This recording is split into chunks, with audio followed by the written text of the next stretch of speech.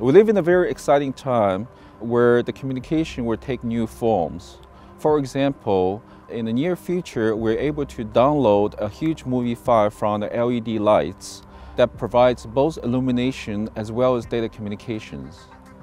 Also, in our household, the machines in the household will be talking to each other, forming a wireless network. The people living in the rural area will be able to have internet access through an unmanned flying drone flying in the sky. My name is Julian Cheng. I'm an associate professor in the School of Engineering.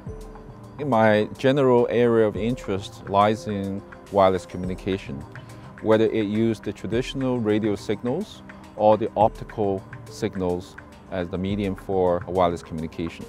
At UBC, we have an optical wireless communication laboratory which was funded by both CFI and NSERC. We do both fundamental research as well as experimental research on optical wireless communication as well as the traditional wireless communication theory.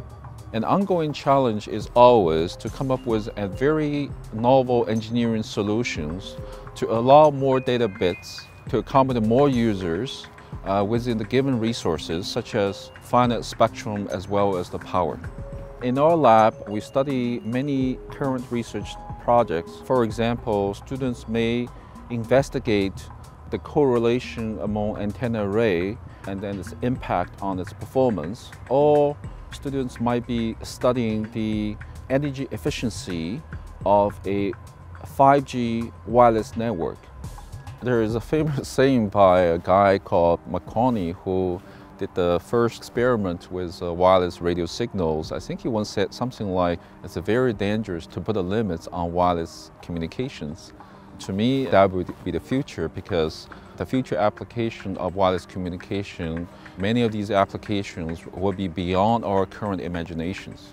So I think that would be the future.